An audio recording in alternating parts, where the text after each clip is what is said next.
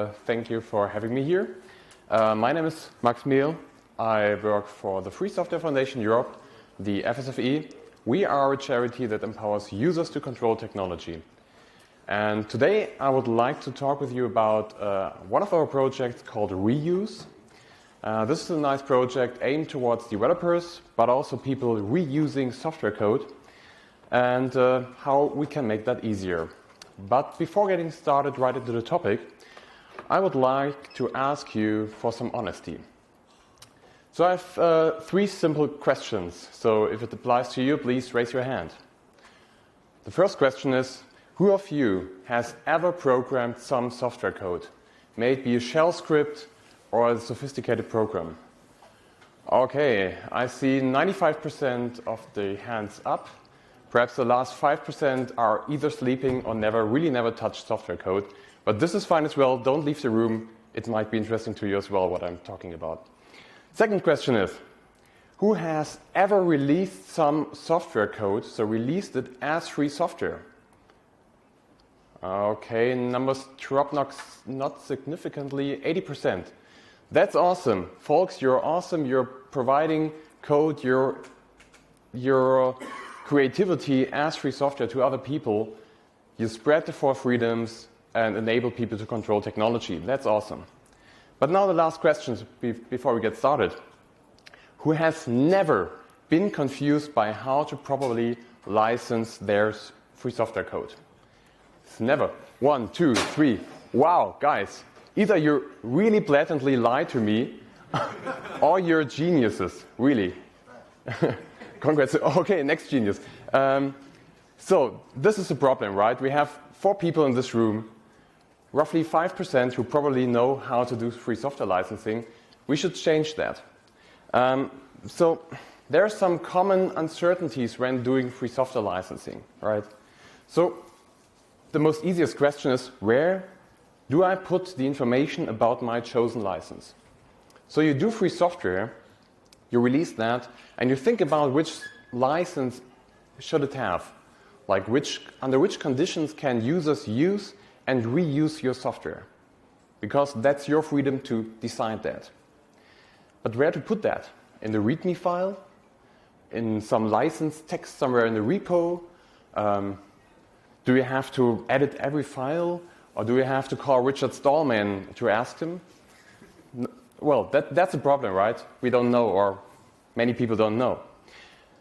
And what do I do when I have multiple licenses in my project? So this could well be if you your code is under a GPL license, well, under which license you can decide, but you have some documentation, for instance, which is, should be under like a documentation license and a text license like Creative Commons. So you have now two licenses. Where to put this information? Two license files in your repo? That's, that's complicated. Then, very important, how can we make sure that reusers are aware of the license that we've chosen? So you said, I want to have a copyleft license, or I don't want to have a copyleft license. How can you inform reusers, so other free software projects, individual users, but also big corporations, about your choice? How can you do that? Like how to make them really aware of what you think about your conditions for reuse.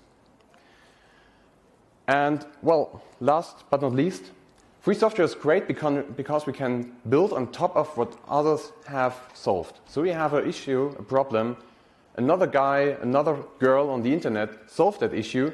You want to take the code and reuse it in your own program to make a shortcut. That's great. Free software enables you to do that.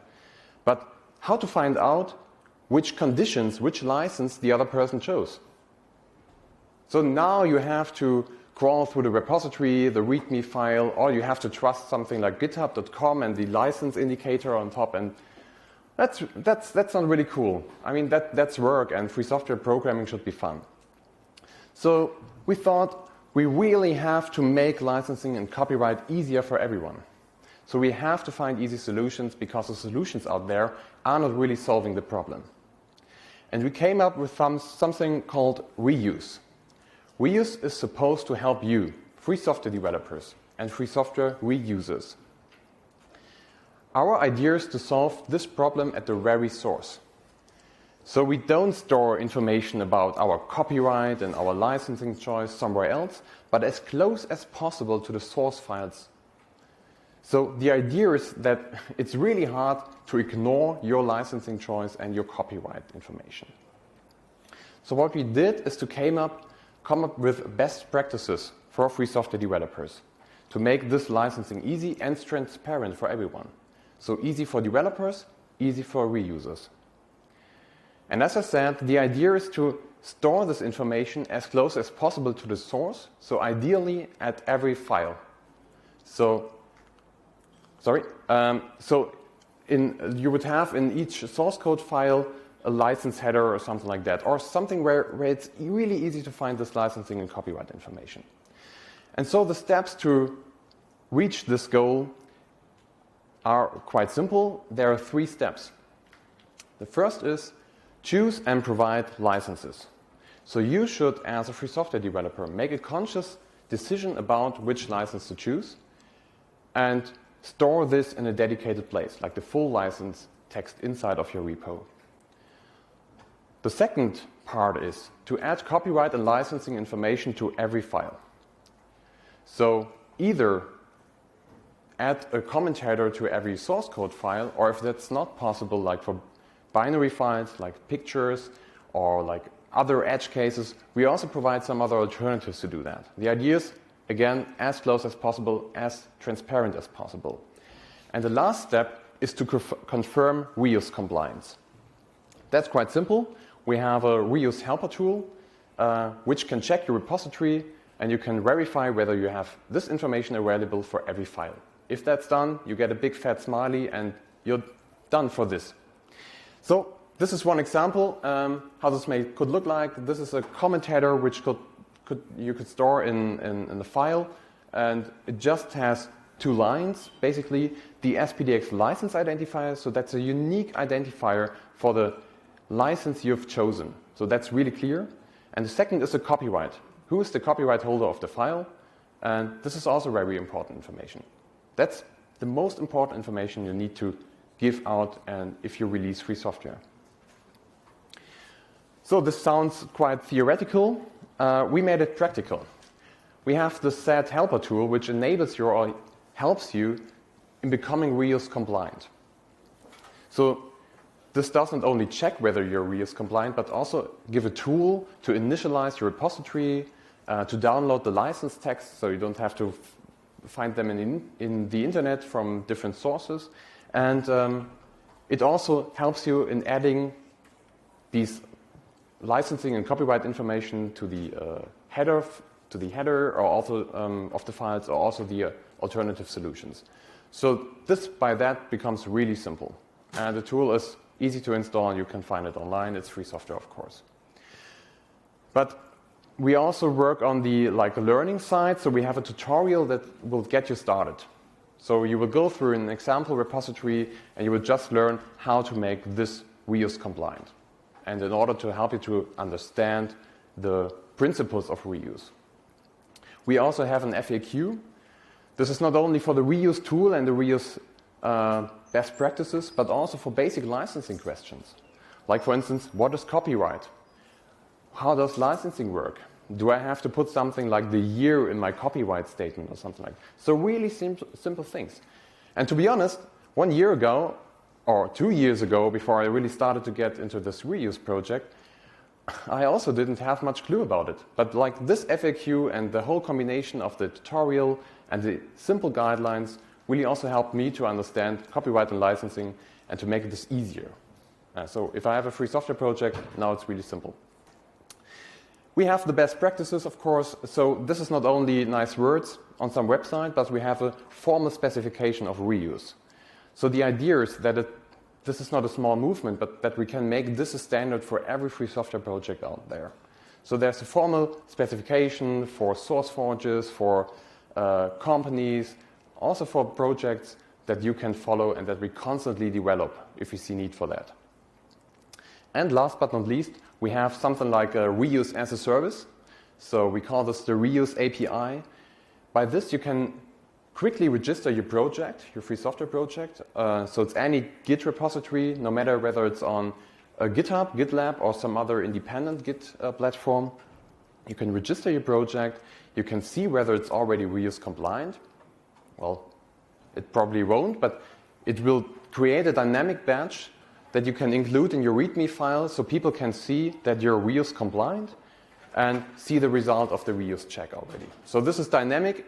If you came to the point that it's reuse compliant, uh, you will always see that. If you're not reuse compliant, it will also show that this is not the case. So this is really transparent and really easy to start with. Um, so speaking about easy to start with, who's already using reuse?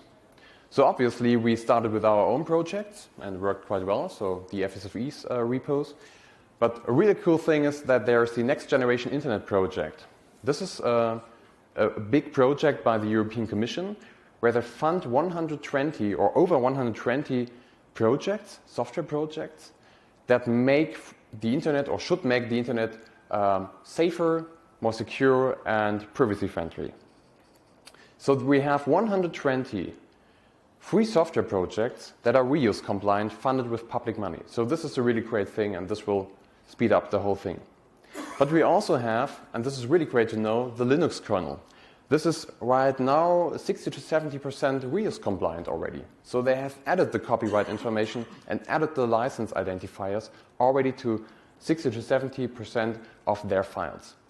And this is great uh, when you know that the Linux kernel has such a long history and so many confusing like copyright statements with changing companies and stuff that it's really complicated to clean that up, but the Linux kernel is already quite far. And so we hope to help these guys to finish this, this up very soon. We also know about some multinational corporations who are already using reuse and make this a best practice for their developers, for their free software projects. And so one question remains, is your project already reuse compliant? Probably not, but you should do that. So go to reuse.software and make your free software project reuse compliant. And by that, secure your intentions, how you want to have your code handled by other parties, by your users. So if you want to contribute, uh, of course, everything is free software and quite transparent. So we look forward to your bug reports if you try it out. We look forward to pull requests, um, also to the website, also to the specification. Everything is transparent. Uh, so please help us in becoming better and make it easier for everyone. You can work on this and on many other projects if you become an FSFE intern. So we just opened up a few positions. So no matter which background, whether social science, technical, legal, we have many cool projects and among them is also the reuse project. So check out fsfe.org. And of course, spread the word. Try it out. If you like it, tell your friends, tell your colleagues, tell your free software projects, tell your boss in, the, in your company. That would be great. We need that because reuse is only mighty, becomes only mighty and useful for many people if as many projects as possible we become reuse compliant and thereby make copyright and licensing easy, fun, and simple again. So I would like to thank you for your attention. If you have any questions, go to reuse.software or just approach me after the talk or ask some question now. Thank you.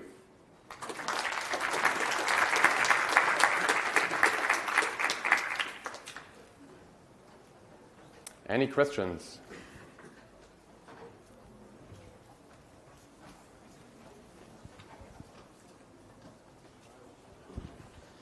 Does distributing the license across all the files not make it a bit more difficult as well to find where should I be looking for the file, the license that will apply to my reuse of this code? So if you have 20 different files, potentially with different licenses, you have to go and check all of them. Yeah, sure, but the idea is that you, I mean, it doesn't matter whether you have only one license or 20 licenses over 20 files. You can also dual license files. But it's important that if you do that, like for instance, you use from a third party a certain library, then this might have a different license. So it's important that people reusing then from your code, which you also, in which you also reused other uh, com, uh, components, that it's quite simple to see ideally at the top of the file under which license from which copyright holder this file is. So of course it, it might be complicated, but that's free software licensing. But we should make that more transparent, and that's just the idea of, of reuse. Any more questions? Other, other questions?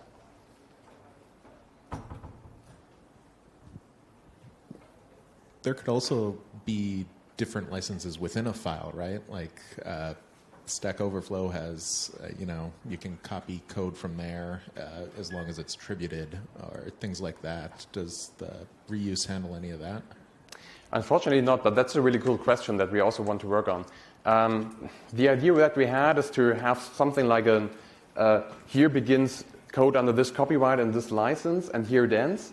Uh, that would be great. Like right now, the reuse tool, at least, um, you could do that already, but the reuse tool doesn't really detect whether a license is split in multiple sn snippets, for instance. Um, you could do that manually somehow, but the tool would will search for this SPDX license identifier and for a copyright statement already. So it would at least carry the information that there are multiple licenses in, in this file somehow, but it's not like really easy yet. But uh, we can figure that out. I think there's already an open uh, issue for that. So if someone has a really cool, cool idea, please, uh, please help us. That would be great. Okay, thank you very much. That's all the time we have for questions. Thank you.